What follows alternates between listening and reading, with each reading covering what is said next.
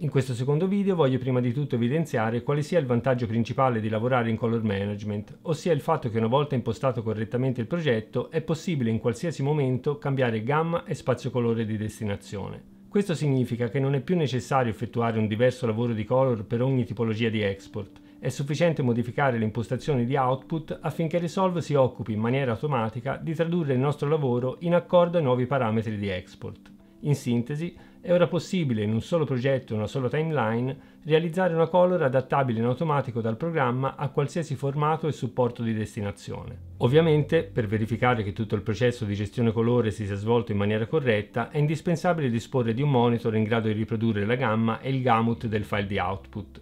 Quindi se il delivery richiesto dal cliente fosse ad esempio un REC 2020 e il nostro schermo fosse limitato al REC 709, non avremo modo di verificare che l'export REC 2020 rispecchia effettivamente ciò che vedevamo sul nostro schermo. Esiste però una mezza scappatoia. Si potrebbe reimportare il file esportato in REC 2020 e convertirlo in REC 709 per un controllo. È chiaro che questo tipo di verifica non può essere considerata pienamente affidabile, ma è comunque indicativa. Infine, se il programma grazie al color management è a conoscenza dello spazio colore del girato, può effettuare in maniera accurata tutte le trasformazioni che occorrono durante il processo di color. Se per esempio decidiamo di spostare un nodo in HSV per gestire la saturazione, come abbiamo visto in un video precedente, è importante che Resolve conosca lo spazio colore di partenza per applicare in maniera accurata la conversione. Lo stesso vale per lavorare al meglio con certi effetti. Le wheel HDR, per esempio, operano in un loro spazio colore e quindi per convertire con precisione le clip in entrata e riconvertirle in uscita necessitano di conoscere lo spazio colore del girato. Chiudo il prologo segnalando che in questo video continuerò ad illustrare il color management esclusivamente a livello progetto. A partire dal prossimo video discuteremo tipi di gestione colore possibili ad altri livelli. Quindi, vediamo un po' più in dettaglio le varie voci offerte dal menu di impostazione del Color Management in Project Settings. Esattamente come nel primo video, nel quale ho fornito informazioni che qui do per acquisite, abbiamo in ingresso dei file Blackmagic Gen 5, lavoriamo in timeline nel DaVinci White Gamut ed usciamo in Rec 709 Gamma 2.4.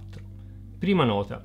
Timeline Color Space. La nostra timeline vive nel DaVinci White Gamut, è in questo spazio che svolgeremo il lavoro di color, non nello spazio colore del girato, l'input color space, né nello spazio colore di delivery, l'output color space. Quindi i file importati in un progetto color managed saranno convertiti due volte, prima nello spazio colore della timeline e poi in quello scelto per l'export. Nessuno vedrà mai il file che stiamo lavorando nello spazio colore nel quale lo stiamo lavorando, neppure noi stessi. Ciò che possiamo tenere d'occhio è solo ciò che serve, ossia il risultato finale, ciò che esce dalla seconda conversione. È questo che vediamo nel monitor di preview. Cosa cambia all'atto pratico nel fare color in uno spazio white gamut anziché in Rec 709? La matematica degli effetti è esattamente la stessa. Tutti gli strumenti continuano a fare quello che hanno sempre fatto nel modo in cui lo hanno sempre fatto. Quello che noteremo è che gli strumenti risponderanno ai nostri comandi in maniera diversa.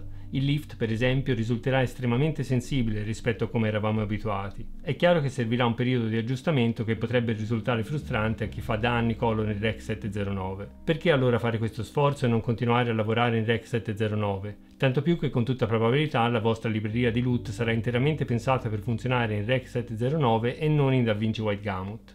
Di questo argomento non banale mi occuperò in un prossimo video, ora torniamo a scoprire le varie impostazioni del color management a livello progetto. Dunque, la voce Timeline Working Luminance non deve preoccuparvi perché viene impostata correttamente dal programma in base al timeline color space prescelto. Se per esempio ci spostiamo in Rec 709 gamma 2.4 e quindi in Standard Dynamic Range, vediamo che il parametro viene ridotto a 100 per evitare clipping.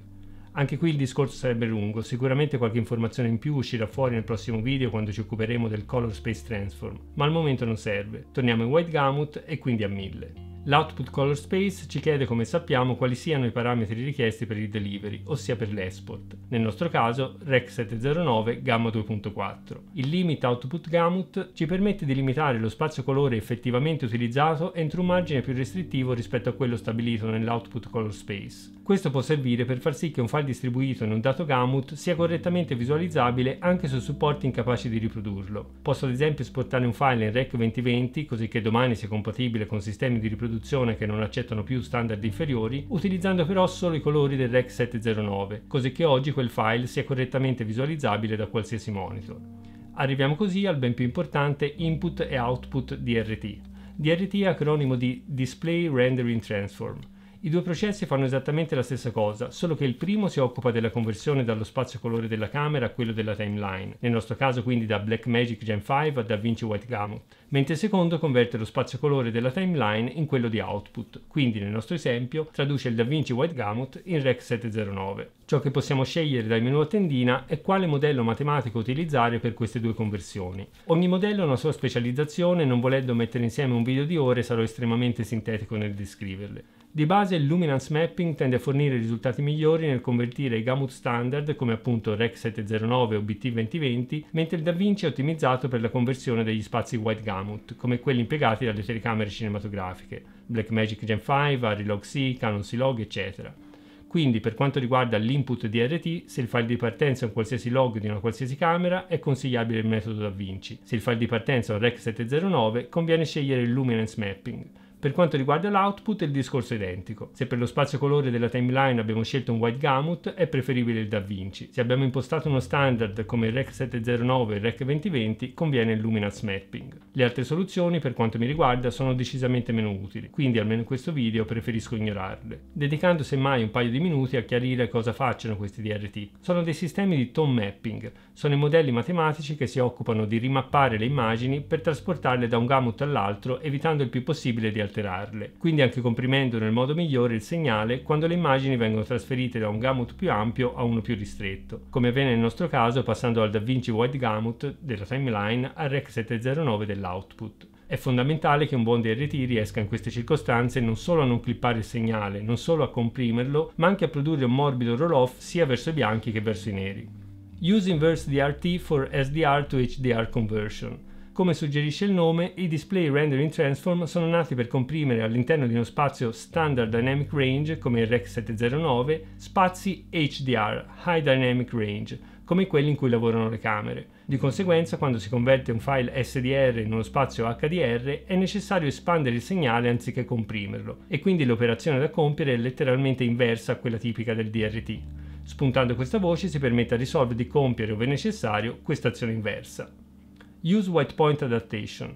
Molto semplicemente, spuntando questa opzione, Resolve nel convertire le immagini da un gamut all'altro applica una trasformazione di adattamento cromatico per compensare le differenze relative a diversi punti di bianco dei diversi spazi colore. Se si vuole vedere e mantenere il bilanciamento cromatico originale delle immagini, non c'è motivo per non spuntare questa voce. Apply Resize Transformation In. Questo settaggio permette di scegliere quale spazio colore utilizzare per l'operazione di resizing. Abitualmente il resizing viene effettuato in linear, che in genere è lo spazio migliore quando si ha a che fare con file SDR. Quando invece si utilizzano media HDR è consigliabile scegliere il linear mapped. Per qualche motivo Resolve imposta di default il gamma, che nel pantagruelico manuale viene affiancato unicamente da questa laconica descrizione, fornito in caso ne aveste bisogno. Ok. Scegliendo timeline si utilizza il color space della timeline. Il log è consigliato per evitare artefatti nelle immagini ad alto contrasto, come le titolazioni. Il gamma mapped fornisce risultati migliori quando in timeline si hanno sia media SDR che white gamut. E con le impostazioni ci fermiamo qua. A questo punto può sorgere una domanda. Come possiamo gestire file di origine diversa sulla stessa timeline se si lavora col color management impostato a livello progetto?